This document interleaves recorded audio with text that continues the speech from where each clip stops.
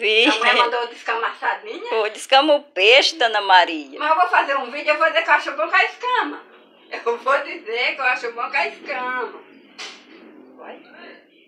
Ô, assim, porque Mas É que aquele mandou muito ali com sardinha, não sei como foi. Não, assim que a nossa seguidora também teve umas que falaram, é, elas mandam comentar e quando a gente comenta, apaga os comentários ou acha ruim.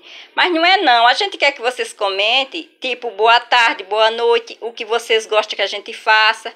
A gente também aceita vocês falar que a gente errou em algum ponto, mas o que a gente apaga é por causa que tem uns que é de baixaria.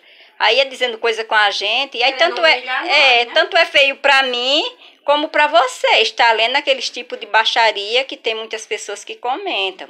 Aí a gente apaga porque essa situação. Mas não é nada demais vocês falar que a gente fez errado, que aquilo ali tá ruim, que nessa história mesmo da escama do peixe. Isso aí é uma crítica, mas é, mas tá dentro do mandou assunto.